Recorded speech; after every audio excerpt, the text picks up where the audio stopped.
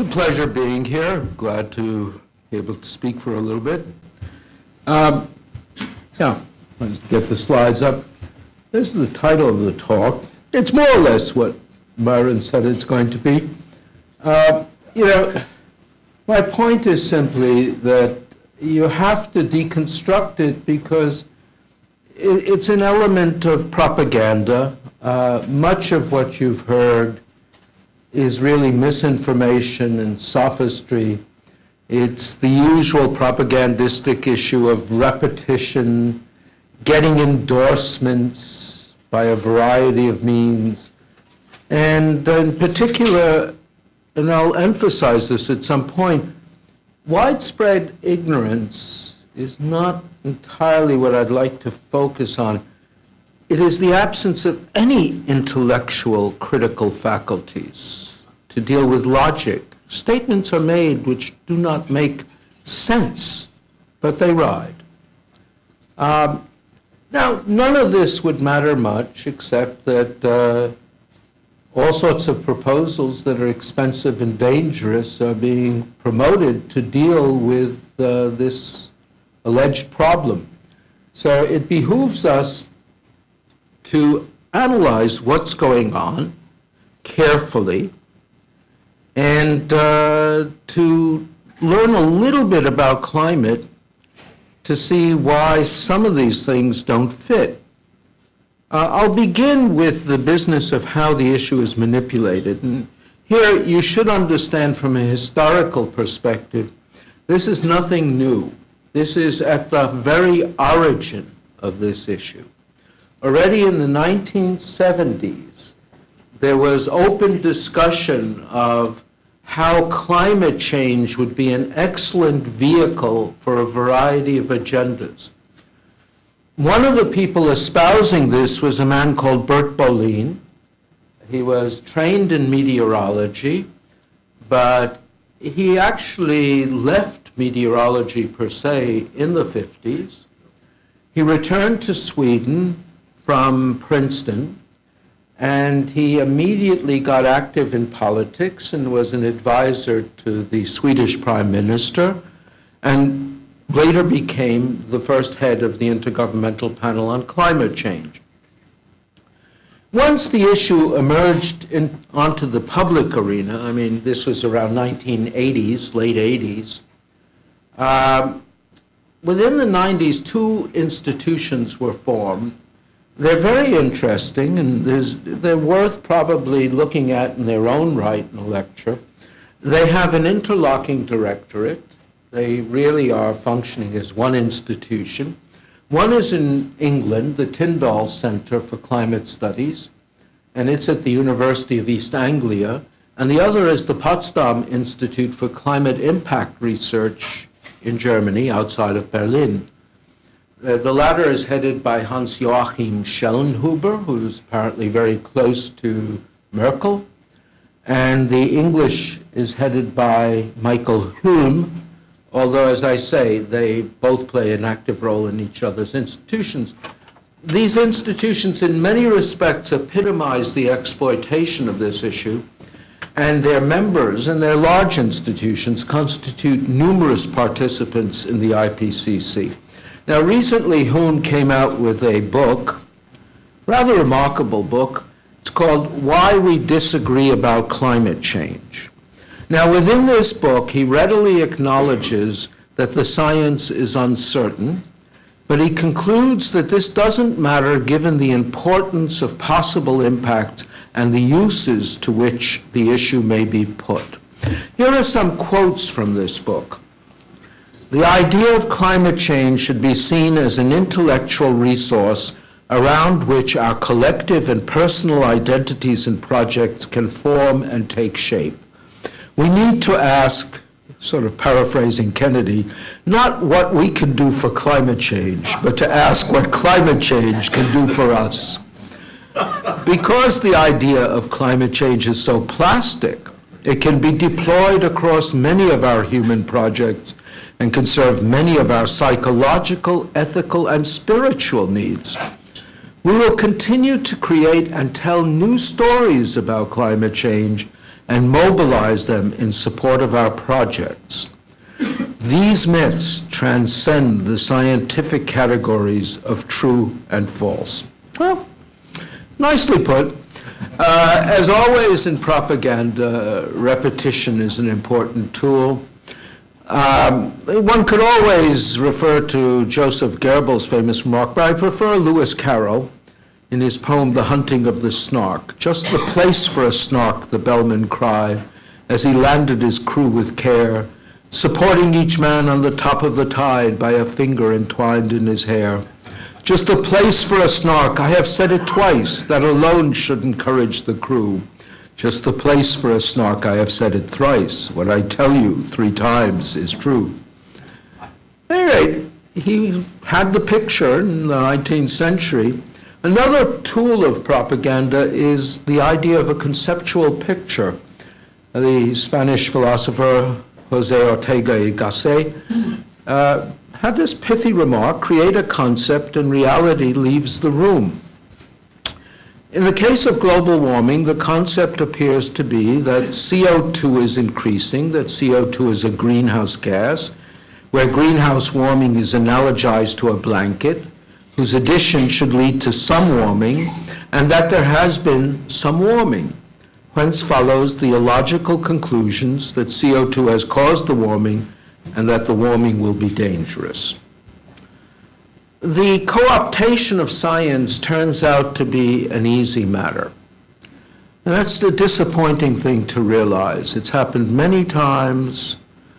Uh, personally, I have noticed, you know, I mean, clearly in Nazi Germany and fascist Italy, academics were the first to support anything that was demanded of them.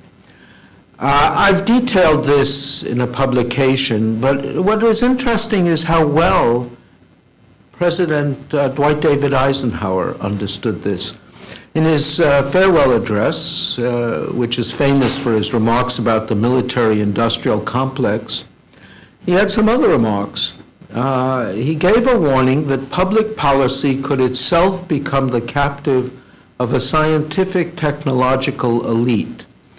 And the reason is partly because of the huge costs involved, a government contract becomes virtually a substitute for intellectual curiosity, and the prospect of domination of the nation's scholars by federal employment, project allocations, and the power of money is ever present and is gravely to be regarded. Now, of late, uh, polls are showing in both the UK and in the US that substantial majorities no longer regard global warming as serious. And the, in England, the Times reported that the Foreign Secretary, David Miliband, uh, was responding to this he accused the public yesterday, this is actually October 23rd, not a few days ago, of lacking a sense of urgency in the face of potentially devastating consequences of climate change. David Miliband said that people had grown apathetic about the issue and they needed to be galvanized into action before the Copenhagen Climate Change Summit in December. Now, Benny Peiser has a uh, news group on the internet, and he couldn't resist putting in this Bertolt Brecht response to the popular uprisings in East Germany in June 1953. After the uprising of the 17th June, the secretary of the Writers' Union had leaflets distributed in the Stalinallee stating that the people had forfeited the confidence of the government and could win it back only by redoubled efforts. Would it not be easier in that case for the government to dissolve the people and elect another? Bertolt Brecht was a communist, but he was not imperceptive. Anyway, here's the last of these. This is from last spring, the Claremont Review of Books uh, for those of you who are not familiar, there's a conservative version of the New York Review of Books. And the article here, The Wilderness Years Begin, is discussing the conflict within the Republican Party between traditionalists and reformers. This would normally be a rather specialized interest, but on the next page, uh, he refers to David Brooks, who was writing in the New York Times and discussing the difference between reformers and traditionalists and talking about reformers. I noticed this remark. They tend to take global warming seriously, according to Brooks, not only on the merits, but in the belief that conservatives cannot continue to insult the sensibilities of the educated class and the entire East and West coasts. Is this really the situation? At least as far as the president of my institution goes and our nation's science advisor, it is. Um, there was a last spring there was a symposium on energy at MIT. Our president Susan Hockfield, introducing the symposium, spoke of climate change as accelerating. She has since repeated this many times. I asked her privately what basis she had for this claim, sending her the following figures. This is the famous temperature chart. I mean. Uh, I should explain what it is. The horizontal axis is time in years. The vertical axis is temperature anomaly. Uh, and essentially, the units are zero in the middle, a half degree down, a half degree up. So it's not a big range.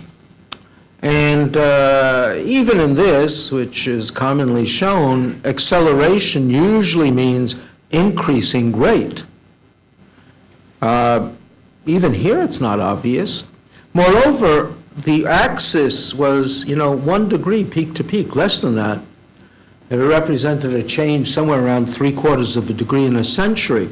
Now, here is an item that appears daily in the Boston Globe. I, I like this diagram very much. I use it with undergraduate students. Um, essentially, every day, they show, if I, let's see, is pointer in here? No. Oh, yeah, here. Each day they show this blue, that's the range from the high, from the low to the high for that day. And then the gray, the darker gray, is the climate, the average high and low for the day. And the light gray is the record high and low for the day. And it goes back 30 days. So you see how it changed over the month. And you see a number of things. This is for April 2008. So you see in the month of April, uh, the temperature is, of course, increasing as we go from winter to summer through spring. Um, we see that uh, the temperature is fluctuating. On the whole, it's not very far from the average highs and lows. And then the record highs and lows, they only tell you what year they are for the previous day, but in this particular chart, the high was in 1974 and the low was in 1909. Now, in the middle of this chart is a red line. And the question is, what is its significance? And the significance is simple. The thickness of that red line represents the total range of global mean temperature anomaly in the previous diagram, just to put it in perspective. It is negligible compared to the change of temperature over April. It's negligible compared to the range of temperature in any given day. It is, you know, no place. And yet, you look at this chart and you we'll see later how it's treated. Anyway, this is it again. Now, let me go backwards a moment. Okay. Let's spread this out since 1985. Now, I should mention to you, I mentioned before, it's on the slide, what this pink fuzz is. The pink fuzz is the way I represent the error bars. Instead of a bar, I have fuzz because that's really the way it behaves. It gets less likely the further you get from something. And now we'll focus on 1985 to 2008. And the point to keep in mind, don't worry about sophisticated analyses of trends and this, is it going up, is it going down? There's no point to that for a short record. What is relevant is any two temperatures where the pink fuzz overlaps are not statistically significantly different from each other. And by that criterion, 2008, and probably I would guess 2009 in a couple of months, will not be statistically significantly different from 1987. To speak of that as accelerating is bizarre. Now, on the other hand, here's how the BBC discussed this. They said they, they finally have acknowledged temperature has not been doing much in a long time. Indeed, for the whole period, practically, when this issue has been around. And so they went to some skeptics to, see, you know, they were saying, some people say it doesn't mean anything, it's just a hiatus. We'll see later, it means a lot. Skeptics disagree. They insist it is unlikely that temperatures will reach the dizzy heights of 1998 until 2030 at the earliest. It is possible, they say, that because of the ocean and solar cycles, a period of global cooling is more likely. This is nonsense on all sides. The thing that is ridiculous is the use of the phrase dizzy heights. Look at the numbers. We're talking about a tenth of a degree. And yet the language uh, belies, you know, speaks to something totally different. It's a little bit like every day in the financial reports, you have the Dow Jones, it went up one point, looks the same as though it went up a thousand points. Uh, this is popular misinformation, but commonplace. Of course, when you tell you people this, they'll say, but what about Arctic ice? And, you know, somebody prepared this nice diagram. And uh, each color is a different year, starting 2003 to 2009. And what we see is in 2000, uh, that, you know, it's a seasonal thing. You have a lot of coverage in the winter. It, it's reduced by, you know, 70, 80% by the summer. And that small amount can fluctuate quite a lot. And so in 2007, you had a drop from uh, six, you know, five and a half to four and a half. And so you could say there was a 20% drop in the minimum, which is not a very reasonable way to describe it, but it sounds big. Uh, and then uh, slow restoration over the next two years. Uh, when I show this to an enthusiast of uh, global warming, they always say, well, you know, why are you starting only in, uh, which date is it here, uh, you know, 2001? Uh, the data went back to 1979. Uh, the curve I had didn't go up to 2009, so. But here's what you have for the Arctic sea ice, and, and that illustrates it quite nicely. In the winter, you have about 15 million square kilometers. In the summer, typically you have five or six. The seasonal change dominates it. And then not much was going on, but there was a dip here, both in the winter and then a little bit later in the summer. You don't mention the winter one because, you know, it's only one out of 15, so that's not 20%. Uh, but one out of five is 20%, so it sounds bigger. And besides, you know, if you go to the southern hemisphere, uh, there's nothing much going on at all, although, again, the skeptics of global warming like to point to uh, one of these being uh, record-breaking ice cover in the summer, but you know, we're talking about negligibilities. Um, on the other hand, the anecdotal stuff can be much more dramatic.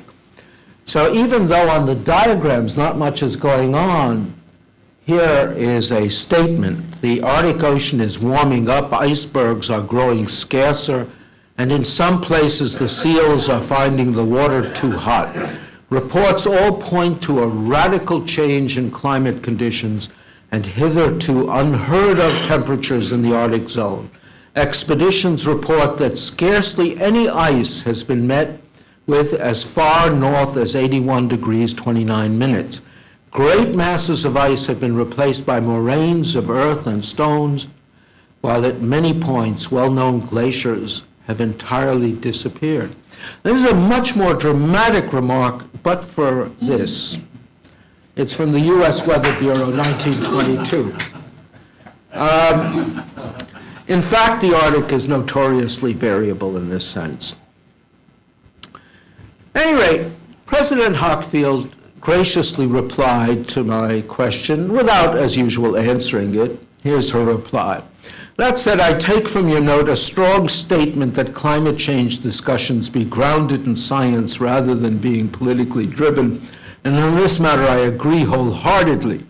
In consultation with MIT's Center for Global Change Science, which is not really its center, our comments about climate change reflect the last IPCC report, the best available consensus of the world's climate scientists, of course, the science must always be open to thoughtful challenge as more observations and analysis accumulate.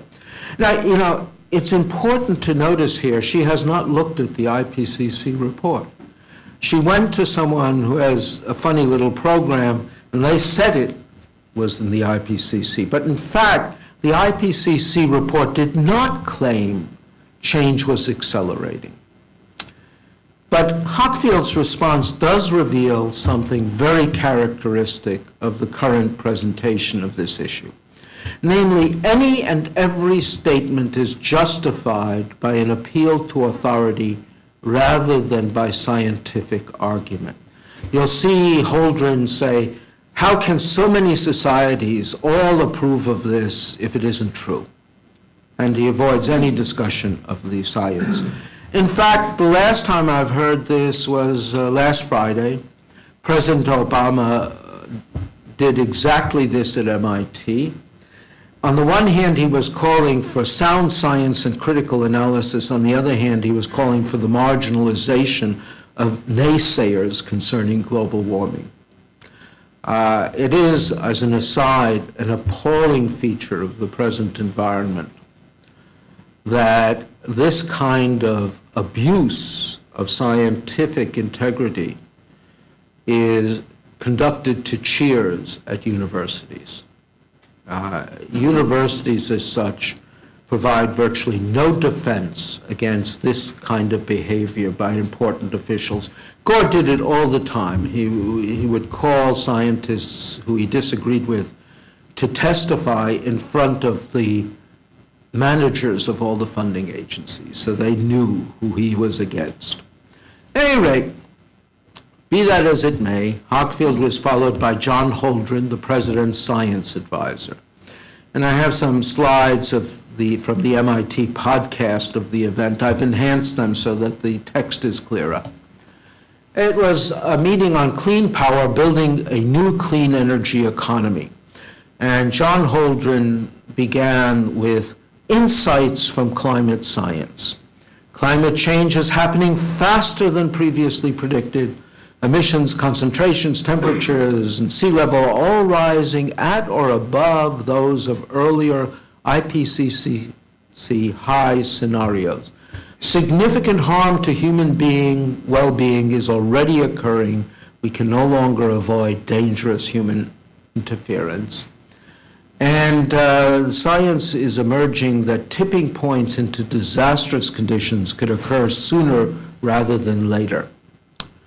Interestingly, none of these statements is true, at least as concerns anthropogenic warming. To be sure, CO2 is increasing, but that does not constitute climate change per se. You know, 100-year sea level projections, you know, for the IPCC is uh, 1.26 inches for 10 years. It's not readily distinguishable from the change that has been occurring since the end of the last ice age. I have a colleague at MIT, an oceanographer, Carl Wunsch, who's noted, and uh, look at the contorted language. This is sort of interesting in its own right it remains possible that the database is insufficient to compute mean sea level trends with the accuracy necessary to discuss the impact of global warming, as disappointing as this conclusion may be. This is his conclusion. Why is it it remains possible? Well, part of the reason is Carl uh, is one, you know, very much a supporter of Obama, and uh, he by and large supports global warming alarm. And you'll find this throughout the literature. People try to keep their science straight, but don't wish to drop the issue. Uh, what was at issue in Carl's work is they have uh, satellites now that measure geopotentials of sea surface. And uh, it goes up and down irregularly and frequently, and usually by far larger amounts than we're talking about when we talk about mean sea level. Uh, most coastal regions have large changes in sea level, which, remember, usually is measured by tide gauges, which are showing the relative height of the sea to the land, uh, because of land changes due to tectonics. Anyway, there's also no physical basis for suggesting tipping points. Forget that they're becoming more likely. I mean, Holdren engages in a semantic trick by saying they're becoming more likely. He, he, is making you think they're a normal part of the picture and everyone agrees on it, but they may not have been so likely, now they're more likely. Nobody's ever even suggested this, a mechanism for this. I mean, there have been some suggestions, but they, they don't amount to anything. And moreover, uh, tipping points, even in systems where they exist, are never characterized by systems where you have diminishing returns. It's usually where something, you know, is escalating and finally you go over some limit. CO2, the impact of every added amount is less than its predecessor. Uh, what we see again is the tendency for any claims to be made once the basis for the claim need only be authority. And there's an interesting twist on this.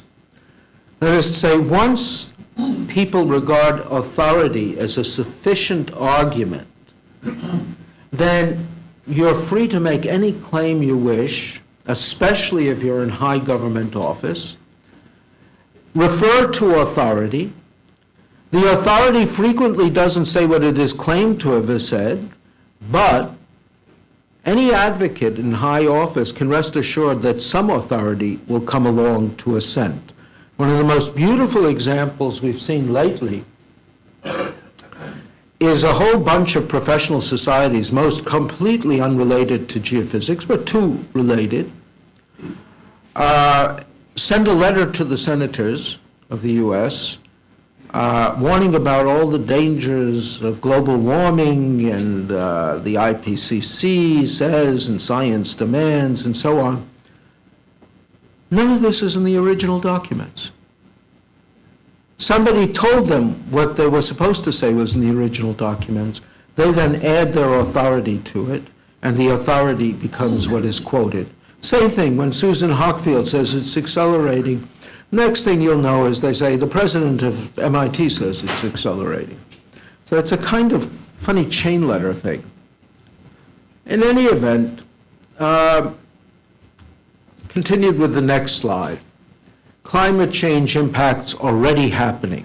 Then it has monsoon changes lead to agricultural impact, extreme precipitation, more floods, change in temperature to reduce precipitation some places, increased drought other places, uh, soil drying, fires, and so on and so forth. Goes on. Uh, he backed off some of them because there were people present who might have objected. Quite apart from the fact that climate is always changing, and such changes have consequences, Holdren's statements are sometimes even untrue, but even when they are true, they're unattributable to anthropogenic warming. The consequences cited, moreover, depend on the confluence of many factors besides global mean temperature. So, for instance, you know, you have the lower graph here, if I can get this. This is just temperature for north, northern hemisphere. And here you have the percentage of the U.S. experiencing drought conditions. You know, in this case, we see no evidence of correlation at all. On the other hand, uh, you know, crop yields for wheat and corn both have increased as temperatures increased. But, you know, while there would appear to be correlation, we know there are many other reasons why crop, crop yields happen to be increasing. And, and this is where logic comes in. Uh, when it comes to unusual climate, which always occurs someplace, most claims of evidence for global warming are guilty of something called the prosecutor's fallacy. In its simple form, it runs as follows. Uh, for instance, if A shoots B, with near certainty there will be gunpowder evidence on A's hands. On the other hand, in a legal proceeding, this is often flipped so that it is argued that if C has evidence of gunpowder in his hands, then C shot B. The odds of that are negligible. Now, in global warming, it's much worse. Essentially, the line of argument goes as follows. Uh, for instance, if A kicked up some dirt, leaving an indentation in the ground into which a rock fell, and B tripped on this rock and bumped into C, who was carrying a carton of eggs, which fell and broke, then if some broken eggs were found, it showed that A had kicked up some dirt. And this type of argument is presented time and again and referred to as science. What really is the claimed IPCC consensus and how was it arrived at? It certainly wasn't arrived at by a show of hands. It was a small committee that proposed it. And in fact, even the executive summary does summary for policymakers doesn't quite say it this way. This is the press release. In fact, I used to think it was unfortunate with the IPCC. They wrote a thousand pages and it summarized in only 13 pages, and that's all anyone read. So I realized no one read the 13 pages. They only listened to the press release, which was about two lines. And this is it. This is the press release. At any rate, you know, this hardly constitutes a basis for concern. Remember, we looked at the numbers. We're talking about a few tenths of a degree, and this is saying 51% or more. So, you know, why would you get worried over this? At any rate, even this, though, how was it arrived at? What was done was to take a large number of models that could not reasonably simulate known patterns of natural behavior. These are things like El Nino, Pacific decadal, Atlantic multidecadal oscillation. Claim nonetheless that such models accurately depicted natural internal variability and use the fact that these models could not replicate the warming episode from the mid 70s through the mid 90s to argue that forcing was necessary and that the forcing must have been due to man. Why? Because they couldn't think of anything else. There's a remarkable line of argument. I mean, what is the point? Why do I underline this? Because in any time you're attributing something, you're obligated to show nothing else could have caused it.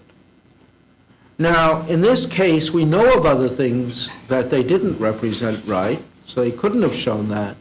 But even if you succeed, it's a poor line of argument because it's an argument from ignorance. Basically says anything else I can think of. And it's exactly the type of argument that is criticized, you know, even though it's better prepared in the defense of intelligent design. So here you have intelligent design attacked for using this type of argument you have the same argument used in support of global warming, and here it's put forth as being demanded by science, whereas in one of the other case, I think appropriately, it's being put forward as in contradiction of science. Equally ironic, the fact that global mean temperature anomalies ceased increasing by the mid 90s is acknowledged by modeling groups as contradicting the main underlying assumption of the so-called attribution argument. That is to say, if you have a period that does not behave the way warming suggests it should behave, it means there are other processes going on that are as big.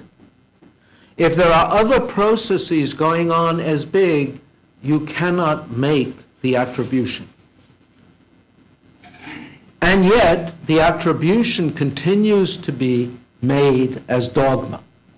Indeed, American scientists, editors, said to me that to suggest that that attribution is wrong is completely equivalent to declaring Einstein's theory of relativity is bunk.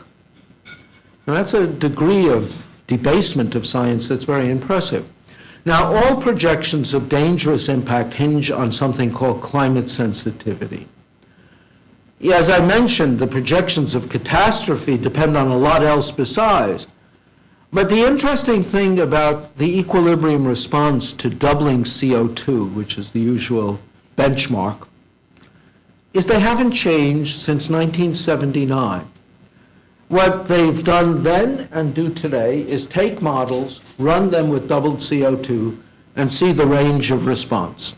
The models will give you a response from one and a half to five degrees, and that's put down. Now, I would actually say the range is one and a half to infinity. Um, but whoever heard of science where you have a model and you test it by running it over and over again? Uh, it addresses nothing. Uh, moreover, why is it with the billions of dollars spent on climate science that this range hasn't been diminished? Now, it turns out, uh, you know, data is the way you usually check calculations. And here I'll mention something Myron mentioned. I have details here and papers on it, but in fact, we have the data, have for some time, to measure the greenhouse effect, to see if it is functioning as predicted directly from the data and to evaluate climate sensitivity. The, what we have is data for outgoing radiation. This is from two satellites, ERBE, Earth Radiation Budget Experiment, and CERES, which is cloud something or other. And they give you the long wave emitted by the Earth, the heat radiation, and the reflected short wave. We also have sea surface temperatures for this period from our, essentially our Weather Bureau, NCEP, National Center for Environmental Prediction. And on top of that, you remember the IPCC intercompares models.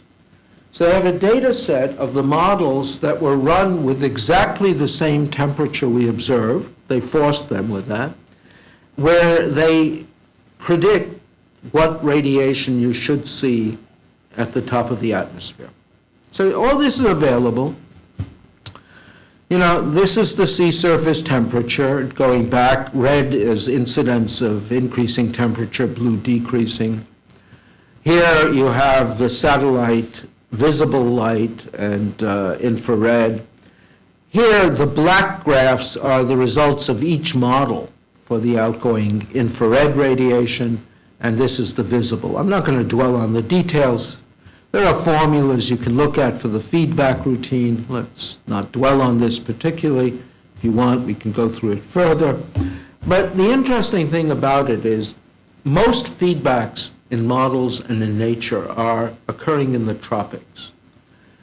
In the tropics, counter to what one might think, the zero feedback response to changes in radiation, changes in temperature, is almost zero in radiation because of opacity and other things. So if you're measuring in the tropics and you see changes in outgoing radiation with temperature, that's all feedback. Now, what do I mean by feedback? Let me pause for a moment. It's generally acknowledged that if all you do is double CO2, you get about one degree. The models, as we saw, got one and a half to five, or infinity, I would argue. The reason they have that is they have what are called positive feedbacks. All predictions of significant warming require that the main greenhouse substances in the atmosphere, clouds and water vapor, or main radiative substances, act to amplify anything man does way above what man does by itself.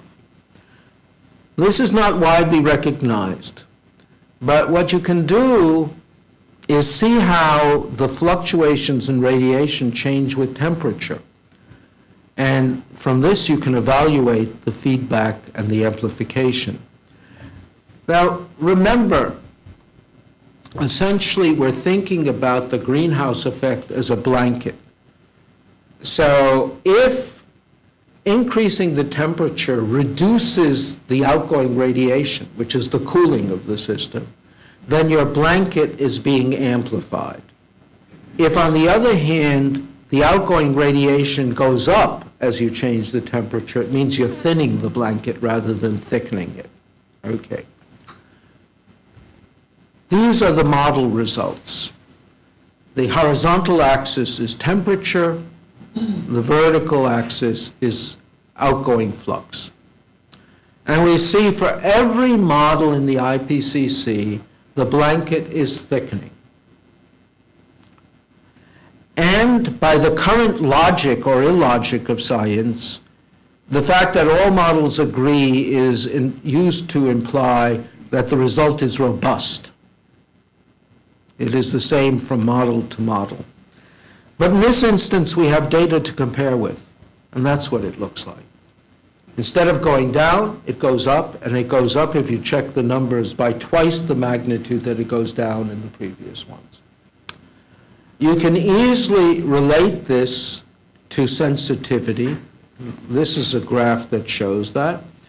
And what happens is you find the models all lie on a part of this graph which is nearly horizontal. That is say, they're near what's called instability or regeneration. And so in this range, you cannot tell the difference between one and a half and infinity. There's very little distinction. Any uncertainty in the outgoing radiation would leave you uncertain to that.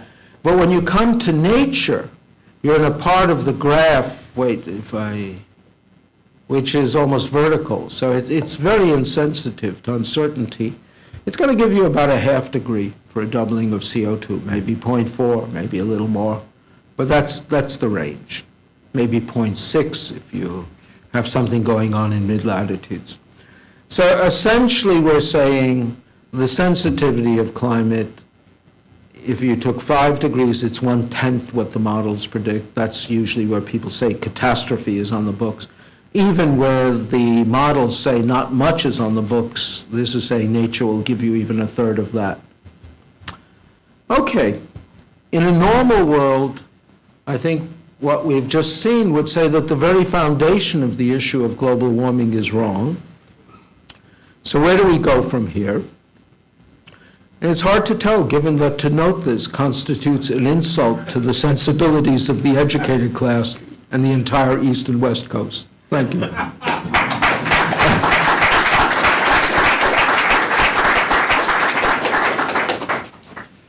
Uh, Thank you, Dick. We have time for questions, and the drill is I will pick you out, and then uh, our uh, Jose here uh, from CEI will come with a microphone, and please uh, tell us who you are and your affiliation before you ask your question.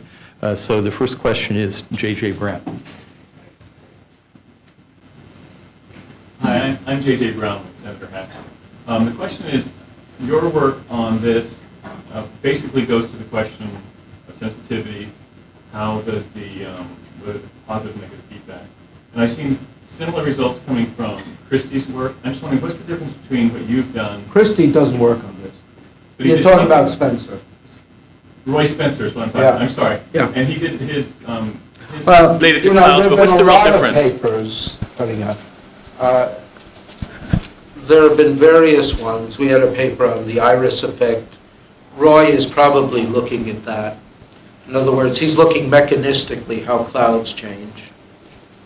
And um, this is different from that in that it isn't looking at mechanism, it's looking at the final result directly. Similar result, though. Oh, yeah, we had a similar result in 2000. I mean, you know- You're looking at data out of the satellites of what's actually coming out of the atmosphere, the flux. He's looking at sort of what the impact of He's clouds would be. clouds per se. Yeah. And we were looking at clouds per se and other things in 2000. These are mechanistic studies. This is looking at sensitivity directly.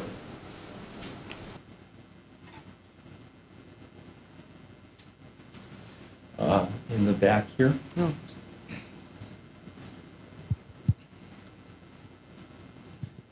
Hi, uh, Mike Shahanian with Senator Sessions' office. Um, There's a lot going on right now in the Arctic uh, in terms of uh, navies from different uh, various fleets staking out claims to resources there, projecting that um, it's all going to be, there's going to be a lot of open sea that's uh, ready for drilling. Um, And the U.S. is talking about having more icebreakers, for example, to patrol up there, and there's going to be sea lanes to trade directly with potentially Europe and Russia. Um, What do you think about that? Are those, are those all going to be uh, mistakes and wasted money? Hard question, depends on how good the icebreakers are. Uh, No, I mean, as I say, this has been reported many times. The Arctic, Antarctic explorer Amundsen actually did traverse the Arctic Circle uh, many, many years ago. Uh, The sub- atomic submarine Thresher surfaced at the North Pole in the 70s. Um, you know, it's not unusual there's a year when a ship can go through. But this year, some attempted it and they had to be rescued.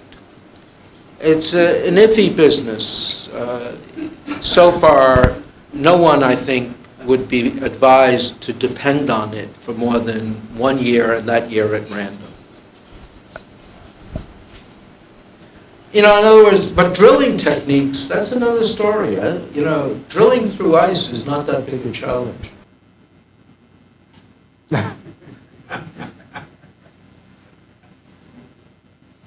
Sam Kazman. Uh, Sam Kazman, CEI. Professor Lindzen, it seems when you've got some entrenched belief and then you have a growing amount of data and studies contradicting that belief, you have more scientists flowing from those who once held the belief to disowning it as compared to those who go the other way. Uh, do you have an idea what the pattern has been when it comes to uh, scientists who uh, profess to believe in global warming alarmism? I think you're not realizing what's going on. Um, The field is corrupt, without any question. I would say most scientists don't believe this and didn't believe it 20 years ago. But for young scientists, they know they're in trouble if they say it, so they don't. I get all sorts of email. I mean, I just got invited to speak for Mike McElroy's, you know, symposium. And they're asking me to speak on this stuff because, you know, the students are aware of it, but uh, they can't bring it up. Uh, You have all sorts of people, you know, who are not in the field. You've created a community of scientists who are not interested in the science. You notice the institute in Potsdam is called the Institute for Climate Impacts? Do you know what that means? It means if you're studying cockroaches and you want funding, you call it global warming and cockroaches, but never in a million years do you learn about climate. I'd like to clarify my question. If you look at scientists who have publicly staked out a position, my question is, uh, uh, look, say it's scientists who have publicly professed to be global warming alarmists over the last decade. A number of them, it seems to me, have now uh, actually gone to the other side, whereas of scientists who have been publicly identified as skeptics, you find very few becoming believers in alarmism. Yeah, I think that's true mostly, but it's, you know, you're missing the point. You know, when you see Wunsch's statement there, okay, you realize he is expressing doubt, but he's careful to cover his rear end. Uh, You have another person like my colleague Kerry Emanuel. He doesn't particularly believe in it, but boy, it's helpful to go along with the flow and, you know, try and keep your stuff on hurricanes from not being too polluted. What do you, how do you describe these people as being for or against? It's meaningless. They're opportunistic.